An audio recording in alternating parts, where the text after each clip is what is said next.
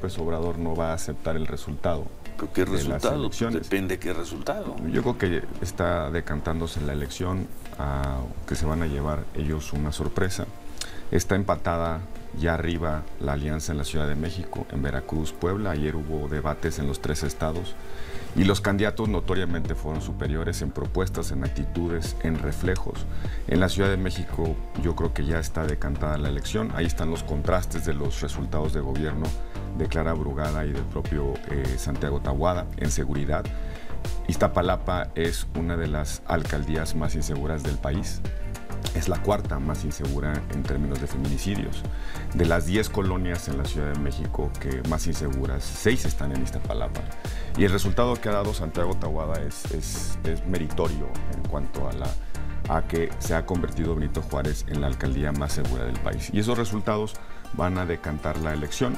Yo sigo pensando, Ciro, que va a ser una una jornada electoral en la que va a quedar muy claro con una participación muy amplia que el país va a cambiar de manos. ¿Qué es una participación muy amplia? Arriba de 65% lo auguro, este, las encuestas empiezan a definirse por ahí.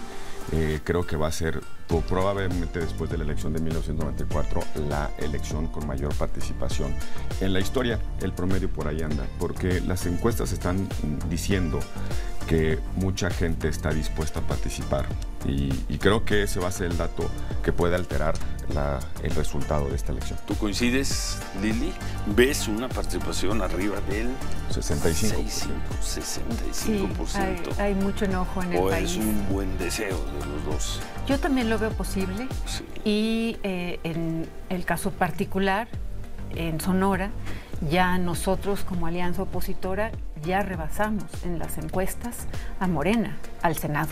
Van a decir que qué encuestas y van a sacar Son varias encuestas. Va a salir la encuesta en la que van 50 puntos abajo, pues ya sabes. Sí, pero en varias encuestas ya nosotros hacia el Senado, en Sonora, ya rebasamos a Morena. Por eso, por eso se han puesto más duros eh, directamente del gobierno de Sonora metiendo las manos en la ¿Viste el debate de la Ciudad de México? Sí, sí, sí, me pareció que Taboada fue el claro ganador. Este, además, pues esta señora, ¿cómo se llama? Clara Brugada. Pero venía en modo Ernestina Godoy. Eh, pero, es que después del vudú que, hace, ¿No llevaba el monito de vudú para que le diera... Con la que eh, platica en las noches. O sea, una mujer que platica con, con, un, con un monito, ¿de qué estamos hablando? ¿Ese es el grado de locura? Es que sí llevaba como look de Ernestina Godoy, ¿no? La peinaron así medio... Pues no importa cómo la peinen, la cuestión es que no nada más es una locura hablar con un monito, sino que además no se da cuenta de lo que está haciendo, se graba hablando con un monito y se publica a sí misma hablando con un monito. Cuando decimos que están locos los de Morena, pues ya ven, no estamos exagerando. 65. De perdida Chávez hablaba con un pajarito que estaba vivo, pero estos hablan con un monito no, que, es Maduro. Maduro, hablaba con un pajarito que por lo menos estaba vivo y le contestaba cantando, pero esta, esta, esta señora habla con un mono.